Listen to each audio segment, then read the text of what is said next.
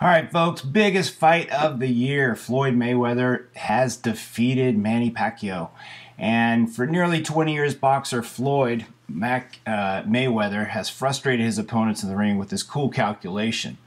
And so he's been criticized out of the ring for his lavish style and his outburst and his arrogance, honestly. Um, I was hoping that Manny Pacquiao would win. Uh, he did not.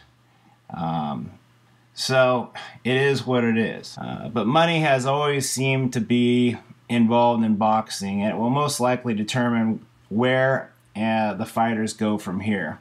So just like anything, you can purchase these guys. They will keep fighting, and uh, it is what it is.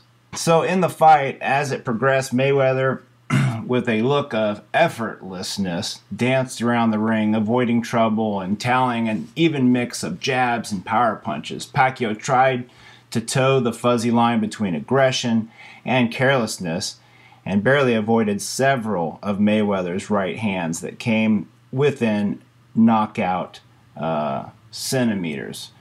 Uh, Pacquiao said that he was surprised by the judge's scoring, noting that he had never been hurt by Mayweather's punches. But even trainer Freddie Roach thought his fighter did not do enough to engage Mayweather. Uh, the plain simple fact of the matter is Mayweather was the better man. Pacquiao left the ring. I do like the way they worked up this boxing match. I do I do like uh, Pacquiao's uh, humbleness and his uh, you know the way he handles uh, the way he handled Mayweather the whole time. I'm not really much for people that uh, showboat and uh, and Pacquiao just seemed like a really good dude.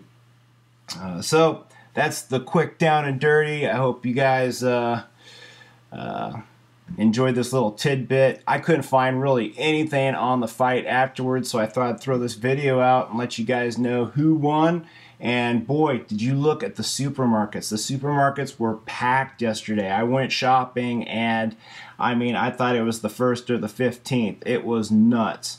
Uh, and it was for the fight. People were paying $100 just to watch it on TV.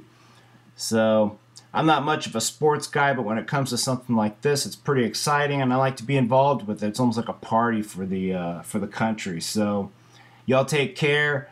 I'll see you in a couple days. I'm working on some more knife videos and some more camping videos. It's summer. Get on outside. I hope you guys are enjoying your life. And uh, if you guys got any questions about knives or camping or whatever, shoot me an email uh, and uh, I'll be happy to answer them. So take care and uh, y'all have a nice week.